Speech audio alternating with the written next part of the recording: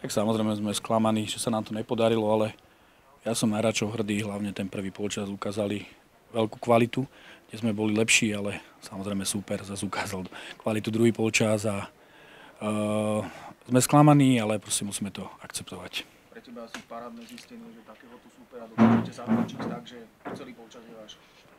Tak e, ja som mi povedal aj hráčom, sme povedali tréneri, že sme na nich hrdí.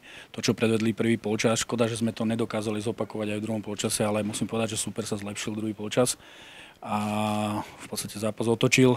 Ale ako hovoríte, že ten prvý polčas bol fakt z našej strany dobrý a toto je cesta.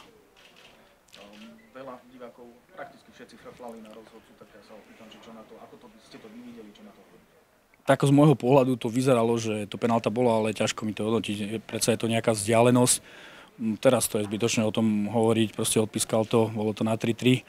Škoda, to, v ten úsek hry, v tom, ten začiatok druhého polčasu do tej 70. minúty, do toho vlastne gólu na 3-3, že v podstate, že ten prvý gól sme nemali dostať, tam sme strátili loptu a proste takýto super nás potrestá z takýchto, takýchto situácií.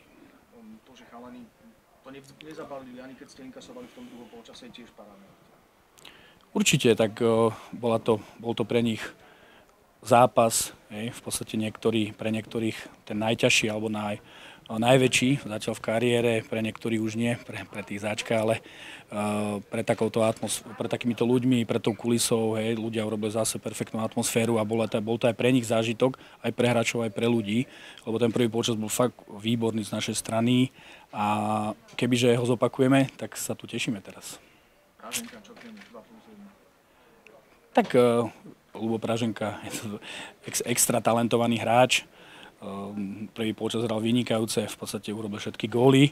Uh, v druhom polčase škoda, že nezopakoval hej, ten výkon, ale ako hovorím, ťažko je zopakovať taký výkon, aký hrali tí chalani prvý polčas celých 90 minút.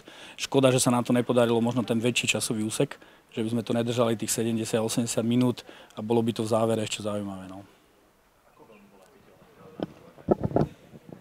Tak e, samozrejme, Artur je rozdielový hráč, ktorý hrá už v prvom týme, určite nám chýbal, ale v prvý počas e, v podstate nebola. Hej. Tým tým ho nahradil a v podstate bez neho sme hrali výborne, ale určite Artur by chýbal každému mústvu.